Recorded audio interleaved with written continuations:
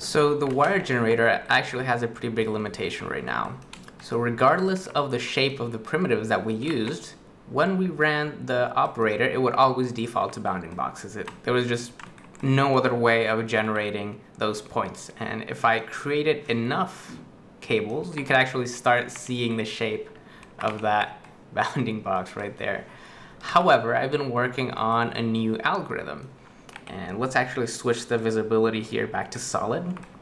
So it doesn't really matter what I switch it to, it will always do this bounding box. But I now have this extra switch right here, and I can change it from bounds to surface. And now you can see the difference. All of these cables, or their, their control points, are being generated on the surface of the primitive. So we can actually control the shape a little bit better. Set this to 100.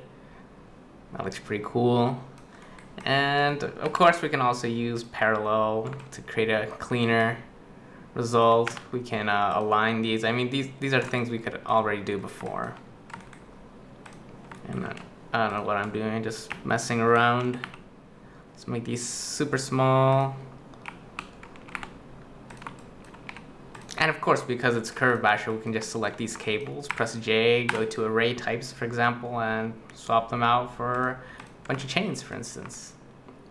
So it's pretty cool that we're able, or we will be able, to control the shape a little bit better once I release this update. When will that be? Who knows? And, oh, we should be able to do this with Monkey, actually.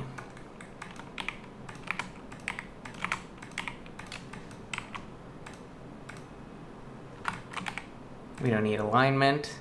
Let's switch this back to bounding box. So with enough cables, we should be able to replicate Suzanne.